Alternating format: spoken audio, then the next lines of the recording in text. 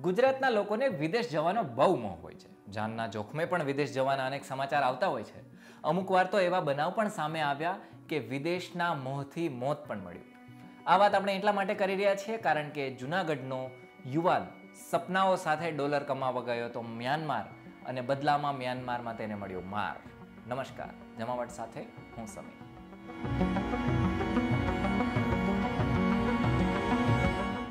જુનાગઢના બાબરાગીર ગામમાં કિશનવાળા સાથે કંઈક એવું થયું કે વિદેશ જવાની ઘેલછા રાખતા ગુજરાતીઓ માટે એ કેસ લાલબત્તી સમાન બની ગયો છે.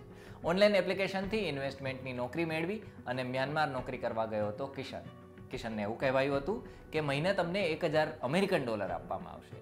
જ્યાં કંપનીમાં તેને ઇન્વેસ્ટમેન્ટ માટે ગ્રાહકો શોધવાના હતા અને ટાર્ગેટ આપવામાં આવ્યો કે વધુમાં વધુ ગ્રાહકો તમે શોધો.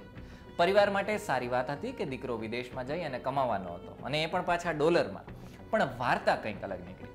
કંપનીએ તેને જે વાત કહી હતી એ બધી વાત ખોટી હતી. જ્યારે કિશન ટાર્ગેટ પૂરો ન કરી શક્યો ત્યારે તેને પાઇપથી માર મારવામાં આવતો કિશનને વધારે ગ્રાહકો શોધવા માટે પણ કહેવામાં આવતું હતું અને જમવાનું પણ નહોતું આવતું કિશન સાથે થતા બનાવ બાદ કિશને મન બનાવી લીધું હતું કે બસ હવે બહુ થઈ ગયું. હવે બસ ઘરે જવું છે. અહીંયા નથી રહેવું. તેણે કંપનીને ઘરે જવા માટે કહ્યું તો કંપનીએ કહ્યું કે સાત હજાર ડોલર જોશે.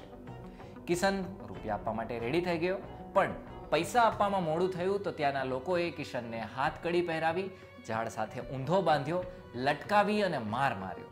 પછી કિશનના પરિવારે રૂપિયા મોકલ્યા અને કિશનવાળા માંડ માંડ ઘરે પહોંચ્યો. કિશનની પરિસ્થિતિ મા બાપને ખબર પડી તો તે બહુ રડવા લાગ્યા હતા.